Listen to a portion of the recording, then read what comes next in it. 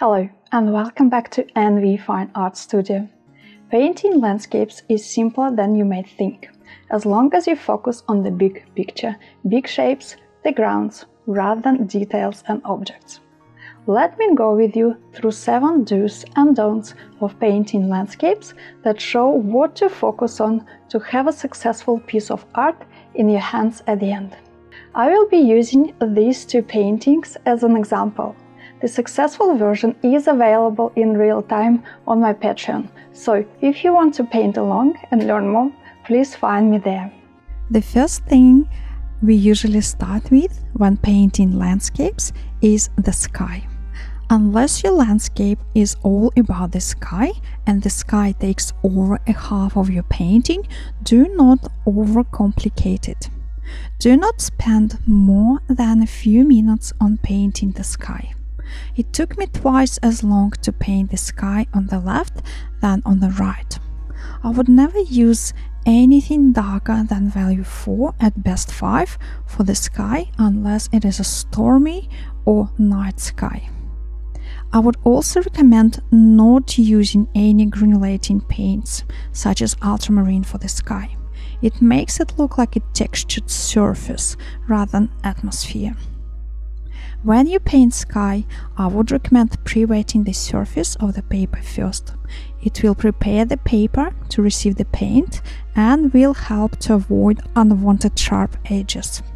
Also, it's best to use watery light in value mixtures of warm and cool hues.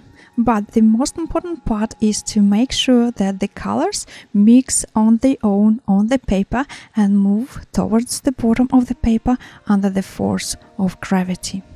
This will create softness and glowing effect in the sky.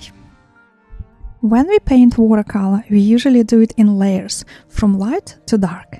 Many say that first wash is there to get rid of the white of the paper, but not really. You need to be mindful, but of course have fun with it. It's not a brain surgery. When you do your first wash, do not use a single tonal value all over. And especially do not make the tonal value too dark, as it will force you into darks instead of middle values for your second wash, and the sense of light will be gone forever. Also, do not use random colors. Remember, the first wash is there to set the undertone, the overall temperature and color harmony for your painting. The first wash truly matters. Make it count. Try to achieve the depth from the get go. Vary your values ever so slightly in the range of 0 to 5. Be mindful of the areas that will stay as the first wash, for example, the sky and the foreground. If you start messing with your light values, it will instantly look overworked, messy and dry. Try not to do any more layers wet on dry in the first wash. Always make use of water properties of watercolor, especially for the first wash, as it is usually 70% water and only 30% paint in the mixture. In other words, your mixtures are usually very watery and it is your friend.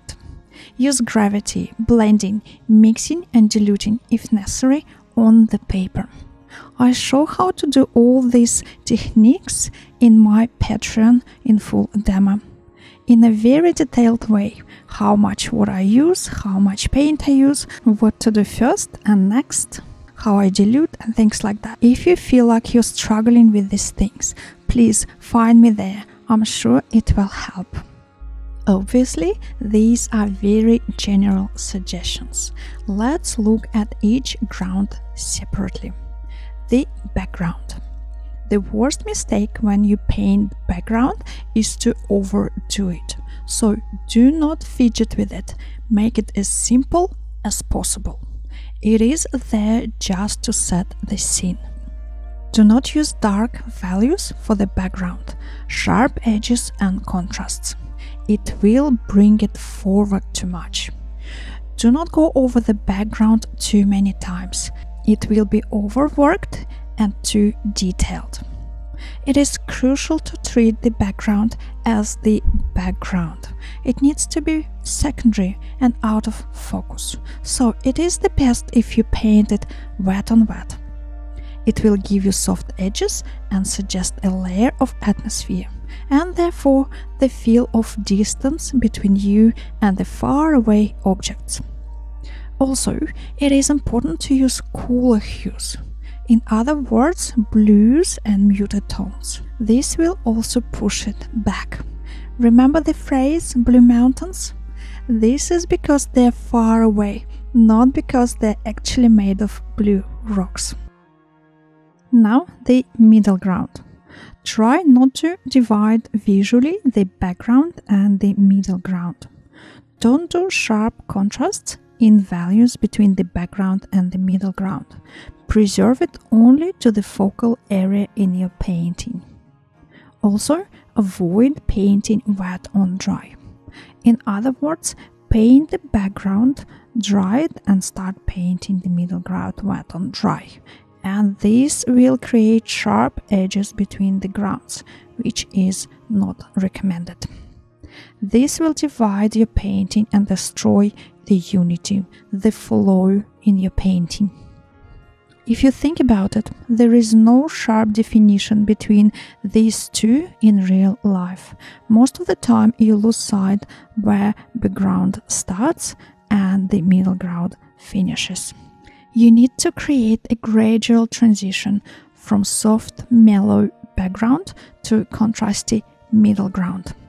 Make sure there are tonal value connections. There are some areas of middle ground where you paint it wet on wet to lose edges. Also, melt the cooler tones of the background into warmer tones of the middle ground. It will create a seamless pathway for the viewer's eye to travel through the painting. Another important aspect to remember is not to overwork your middle ground. I know the middle ground is the most crucial part of your painting, so it is not an easy thing to do. Actually, the most of the artists say that this is the area where they struggle and sweat the most. You are not alone here at all. This is the area where you cannot say, oh, it's just a backdrop, I'll do a few brush marks and it's fresh and it's done. No. This is where you put all your might and strength in. This is where you show your skills as an artist the variety of edges, the variety of hues and tones, the dynamics of light and atmosphere. But no matter how complicated your middle ground is, you have to make a brush mark and let it be. So, do not do layer after layer after layer, wet and dry each time with a milky consistency mixture and very slight variation in tonal values. Layers like that are still transparent enough to show multiple goes, but not fluid enough to make it seamless. And this is what ruins the freshness.